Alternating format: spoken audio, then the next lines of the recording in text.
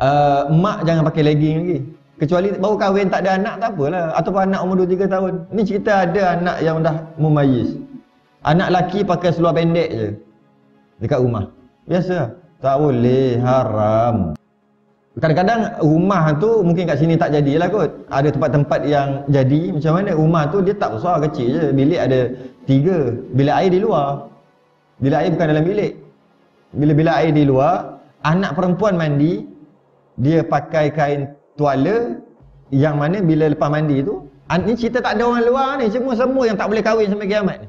Dia pakai bila pakai kain tuala tu, kepala lutut tu nampak, peha sikit nampak. Sebab ke, pakai yang pendek tu. Patutnya kain tuala kan ada yang labuh, pakai yang labuh tu lah. Ada masalah ke lepas mandi keluar macam tu? Tak ada masalah. Ayah dia, adik dia, mak dia, datuk dia, nenek dia, cucu dia, apa masalah?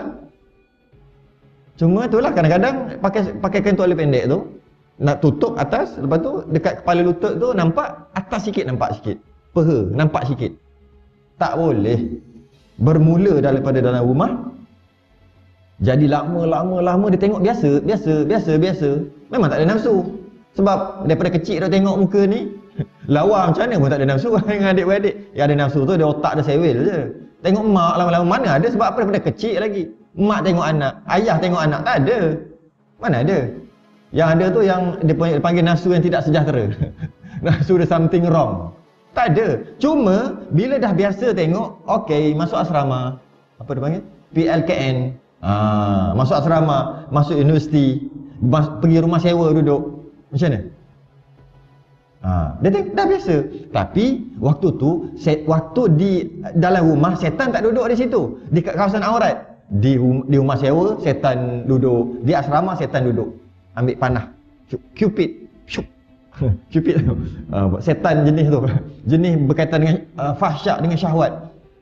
Dia panah mata, ada panah mata, dia panah. Tengok Tengok jadi lain macam. Kenapa tengok lain macam? Tengok tengok lain macam. Lama lama lama lama lama. Alah laki dengan laki pun mandi pakai spender je. Mandi ramai-ramai. Pakai spender je. Ya, sikit sikit sikit sikit sikit sikit sikit itu yang jadi seribu orang dekat depan KCC. Hmm, sikit-sikit tu. Asalnya dalam rumah. Asalnya dalam rumah. Dia biasa tengok. Bila luar pun biasalah. Laki sama laki, perempuan dengan sambat. Biasalah tu. Aku pun ada, engkau pun ada yang aku ada. Buat apa aku nak nak ni sangat? Aku pun ada. Jadi lama-lama bila tu, bila keluar, bila duduk rumah sewa, duduk asrama. Jadi maknanya ibu bapa dia bertanggungjawab juga anak jadi macam tu. Walaupun dia kata, kenapa lah kau ni keturunan kita tak ada jadi macam kau lembik lembik lembik au au au. Tak ada, aku pelik lah kau mana punya ikut mana punya keturunan ni kata. Maknanya tak. Ayah dia, mak dia juga ada saham. Saham mem, uh, membiasakan perkara tu. Sedangkan dalam rumah juga ada.